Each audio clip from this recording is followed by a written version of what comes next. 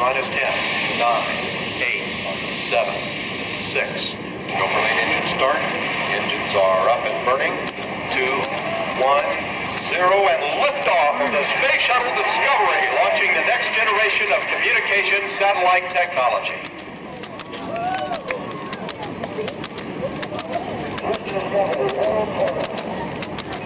Under roll, Discovery.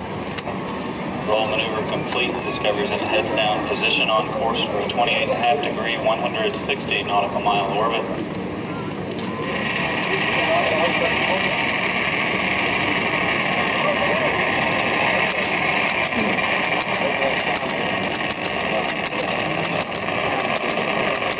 Discovery's engine now throttling down as the orbiter passes through the area of maximum dynamic pressure on the vehicle in the lower atmosphere.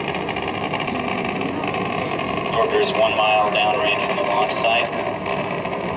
Altitude 21,000 feet.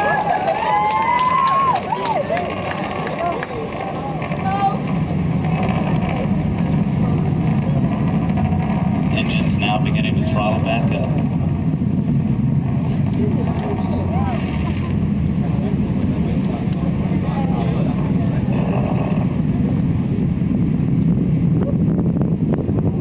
Discovery, go and throttle.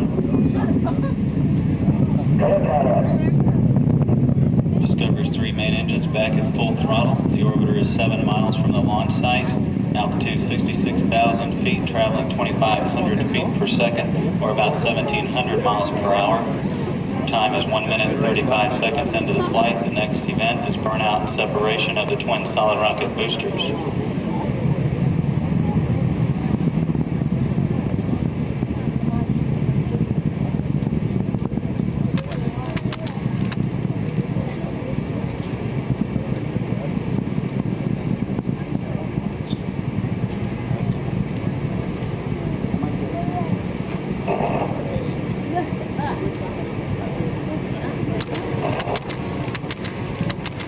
SRB separation, time 2 minutes 10 seconds.